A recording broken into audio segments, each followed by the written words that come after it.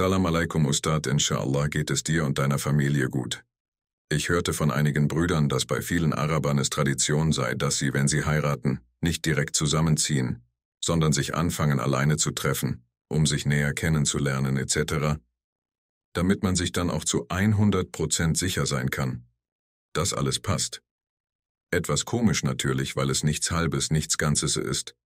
Aber eventuell steckt ja darin eine Weisheit. Wird gezahlt, wenn man dann auch tatsächlich heiratet und die Bekanntgabe der Ehe. Falls ich das richtig verstanden habe, wahrscheinlich kennst du diese Zeremonie selbst besser als ich. Meine Frage ist, ob du diese Vorgehensweise gut heißt oder ob sie generell verwerflich ist und in Richtung Erneuerung fällt. Oder Malcolm Salam. Ich kenne diese Praxis nicht und dass es eine Tradition ist, bezweifle ich sehr, weil Traditionen haben meistens äh, etwas ähm, Konservatives und das scheint überhaupt nicht konservativ zu sein, sowas.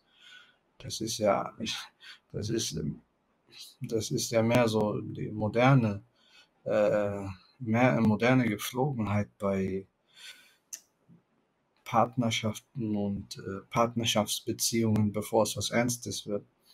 Also sowas kenne ich nicht als Tradition. Wie gesagt, ähm, ob es in manchen Ländern sich so entwickelt hat, weiß ich nicht. Die Sache ist aber so, die Sache ist, wenn die tatsächlich vermählt worden sind, also wenn der Nikah stattgefunden hat, und die, was soll das bringen, dass, dass man sich noch trifft und äh, noch nicht zusammenzieht, obwohl man alles machen kann, was äh, die Ehe so mit sich bringt. Ne?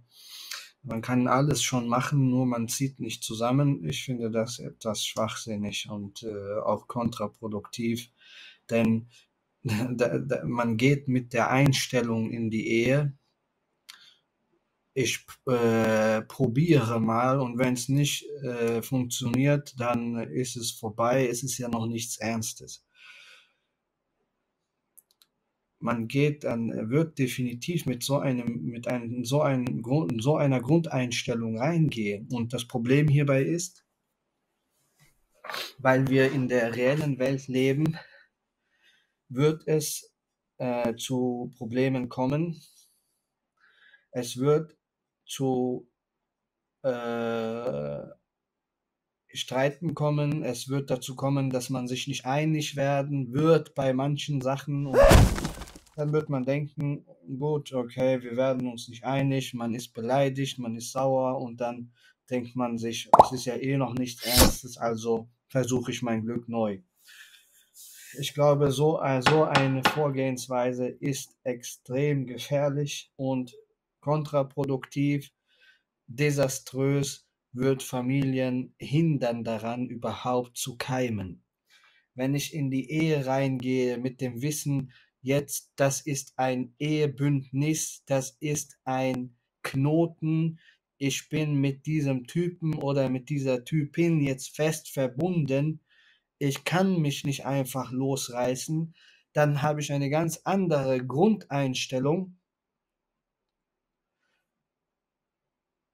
und eine ganz andere Erwartung und eine ganz andere Strategie, Strategie, wie ich umgehen werde mit Problemen, mit Schwierigkeiten, mit Unstimmigkeiten, mit Disharmonie, die entstehen wird.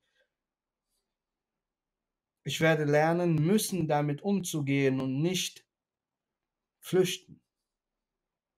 Dementsprechend, ich halte das für eine äh, extrem gefährliche äh, oder was heißt gefährlich, ja, äh, äh, es ist auf jeden Fall nicht, äh, nicht produktiv, es ist äh, äh, ganz im Gegenteil, es äh, lässt einfach viel zu viele Möglichkeiten offen, die Sache bei, bei jeder Kleinigkeit hinzuschmeißen. Und dafür ist eine Ehe nicht konstruiert. Dafür ist eine, das ist nicht die Ehe.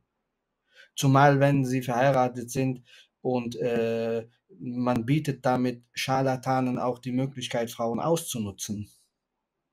Man bietet damit den Frauentypen auch Eine Frau wird es wohl äh, in dieser Hinsicht nicht machen. Vielleicht andere Dinge, die sie beim Mann ausnutzen kann. Aber äh, der Mann, wenn da ein Teufel dahinter ist, der wird das ausnutzen. Der, weil es ist ja alles erlaubt, das sind ja Ehepartner. Und ähm, da können die Familien, wenn das überhaupt mit, äh, mit Zustimmung der Familien gemacht wird, sagen, was sie wollen. Er wird sie zu allem bringen, was er möchte. Sie wird ihm sehr wahrscheinlich nachgeben. Er wird mit ihr intim werden und dann wird er sagen, das war eh nichts Ernstes, weder bei mir noch bei dir. Tschüss. Diese, diese Türen sollte man nicht öffnen. Wenn, dann richtig oder gar nicht.